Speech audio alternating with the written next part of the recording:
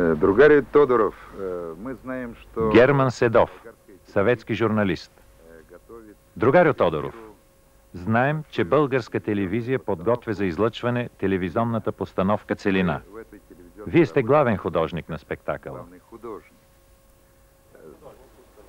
Как художник-постановщик, да. Доводилось ли вам... Били ли сте някога на Целината? Не.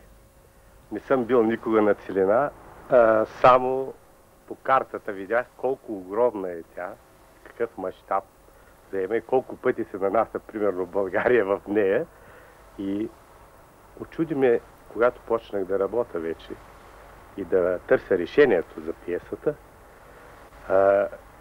в мене се породиха няколко въпроса.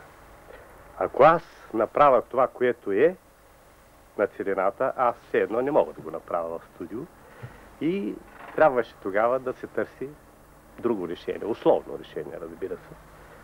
И стигнахме до едно символично решение. До тая карта, която аз увеличавам един рун отзад и я правя голяма. И върху тази карта на целината а, актьорите играят.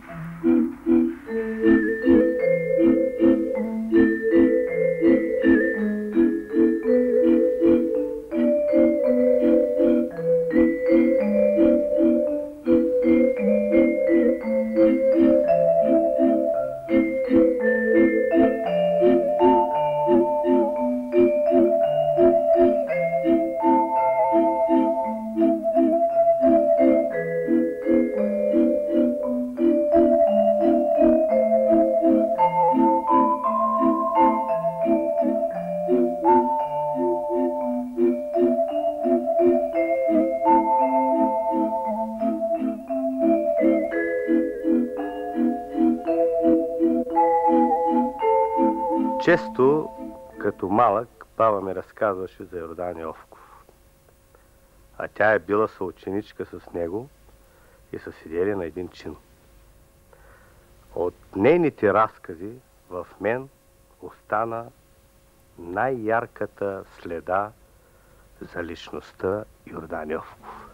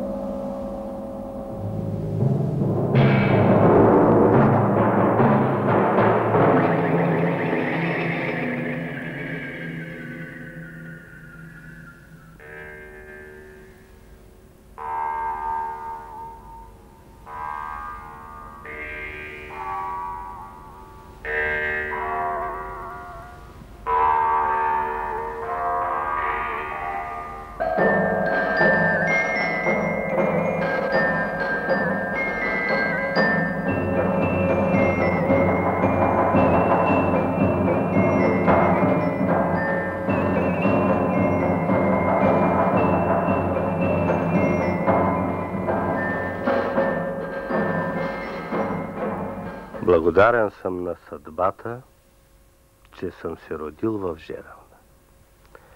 И че тя оцеля и се запази такава, каквато беше.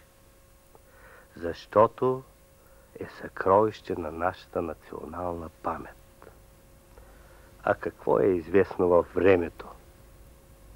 Оцеляват само истинските стойности. Само те могат да предизвикат след години откровеността на бъдещите поколения.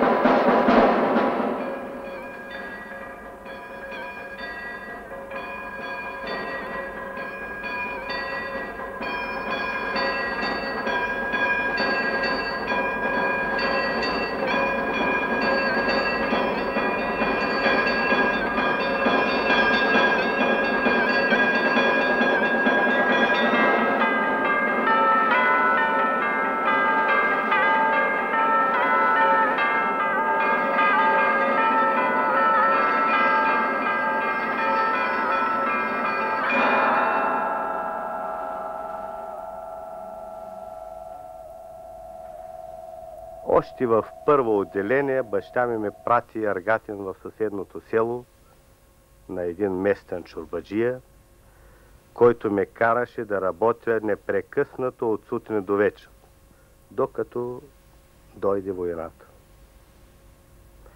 Гладът вървеше по петите ми. Завърших трети клас, по-старому разбира се. И понеже моите родители нямаше с какво да ме изучат, казаха Бесине, търси си късмет.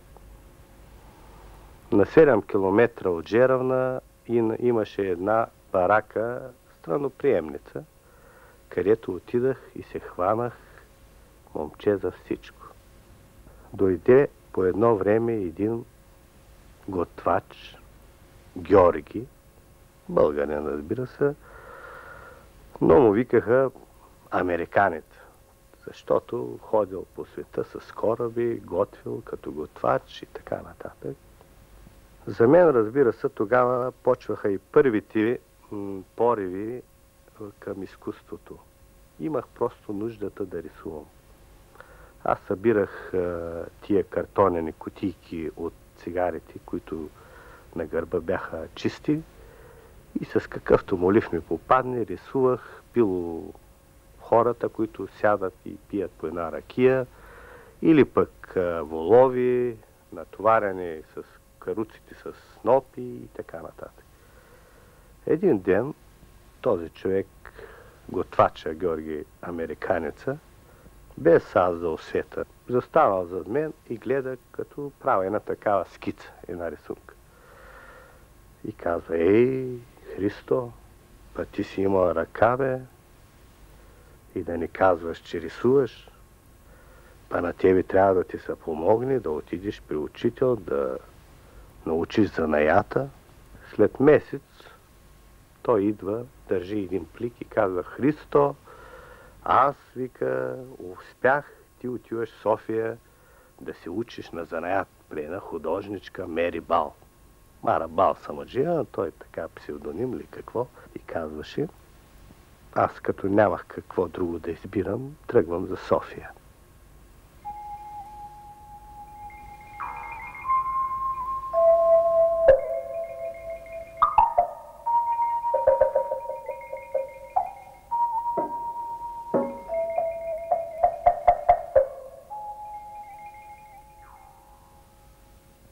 До тогава не бях излизал от Жеравна и бараката друго селище не знаех.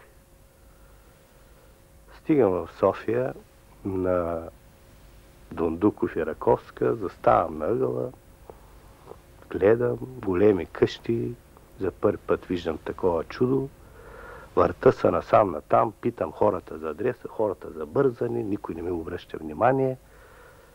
Най-после, разбира се, се намери един, който ми показва адреса И отивам при тази художничка на занаят да се уча.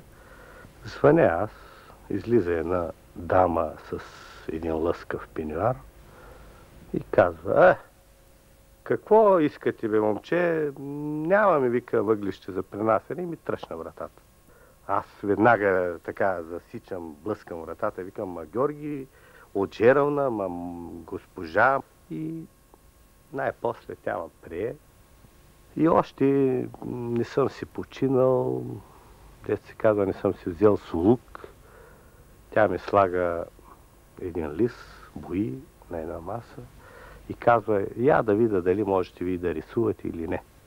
Рисувам, нали, с акварел, но кога съм пипал аз акварел и кога съм рисувал с него? Върта, пляскам като с масло, капи пот от челото ми, притеснен. Обаче, мисля, че нещо там понаправих. Идва по едно време и вика, а, това ли направихте ви? И като начинаеш, зимата ми даде 20 картини. Има прати из България да ги продавам като пласьор.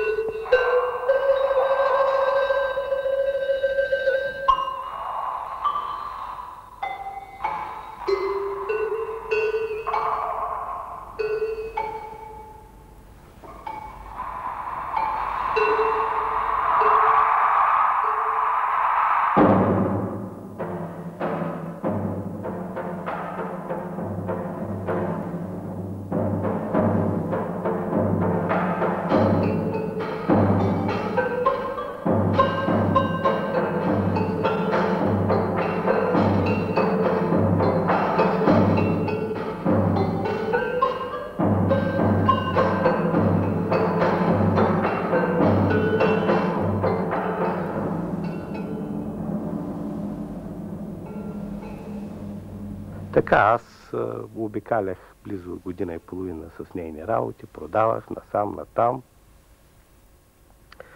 Докато един път отивам в Съюза на българските художници. Гледам фирма, пише СБХ, ама знам ли какво е това СБХ тогава.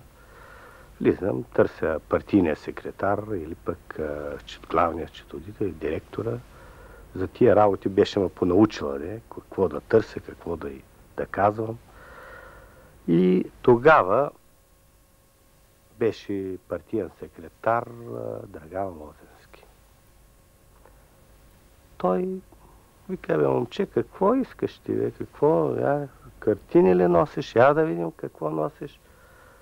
И аз ги нареждам, нали, всичките картини и викам, ето на, да се изберете за канцелариите, да си ги украсите и така нататък.